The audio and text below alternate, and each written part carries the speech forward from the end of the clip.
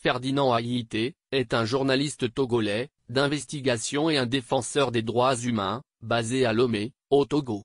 Il est le directeur de publication du journal d'investigation, L'Alternative, qui est l'un des journaux, qui dénonce les dérives du régime en place.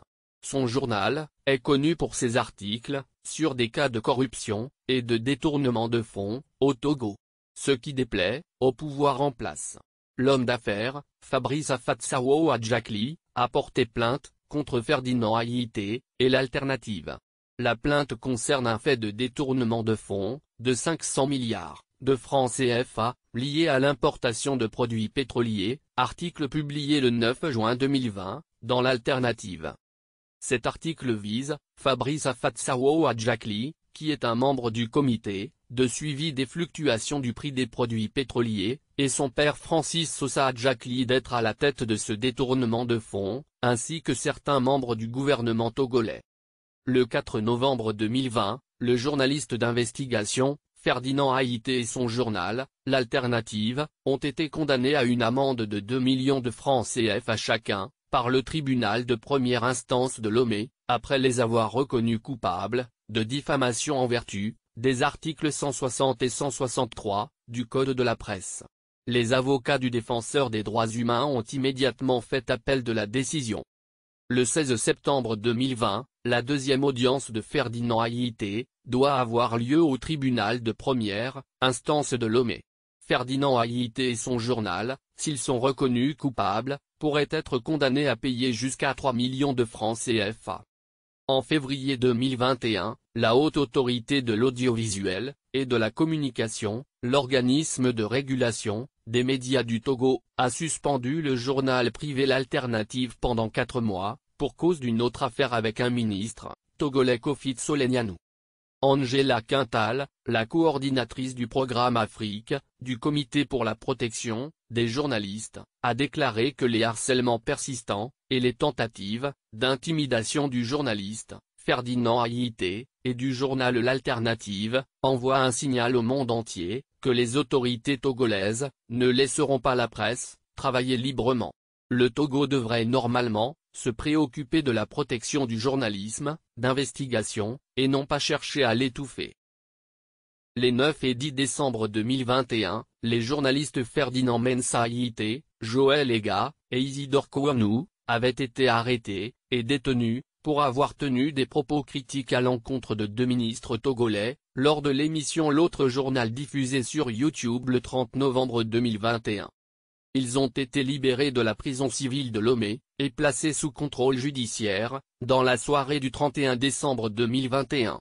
Malgré leur libération, les trois journalistes restent poursuivis pour outrage à l'autorité, en vertu de l'article 490 du Code de procédure pénale togolais, diffamation, et aussi l'article 290 du Code pénal togolais, incitation à la haine de l'autorité, et risque jusqu'à deux ans de prison, et un million de francs CFA d'amende.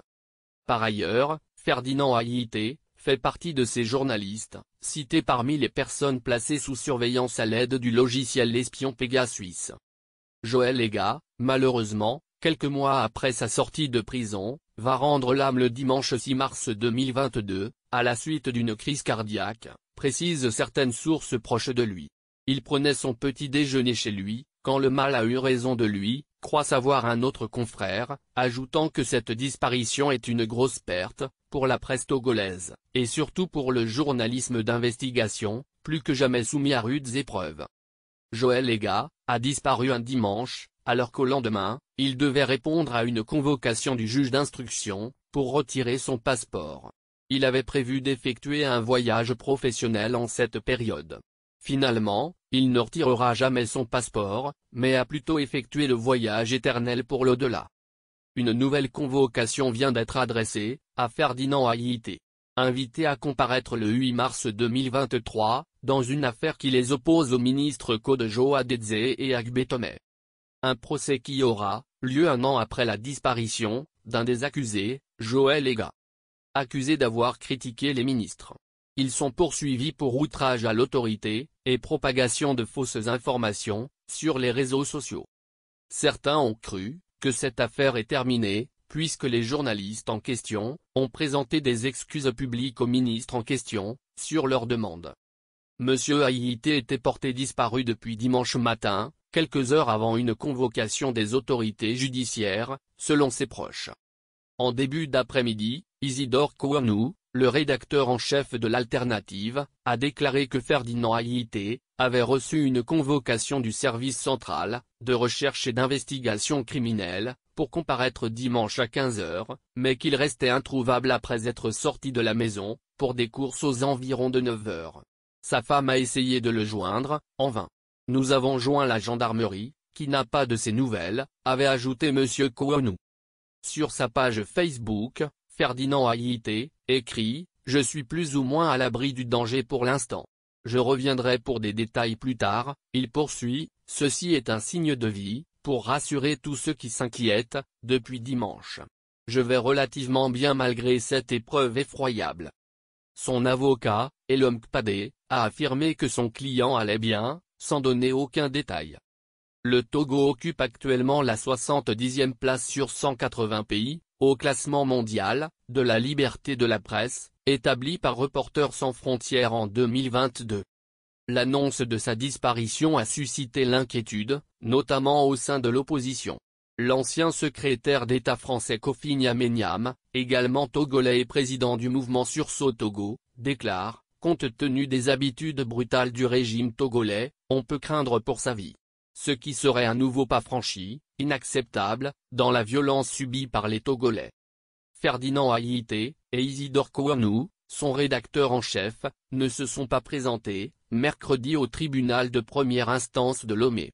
Mais les deux journalistes ont été condamnés à 36 mois de prison ferme. Un mandat d'arrêt international a également été lancé contre eux. Merci pour le visionnage.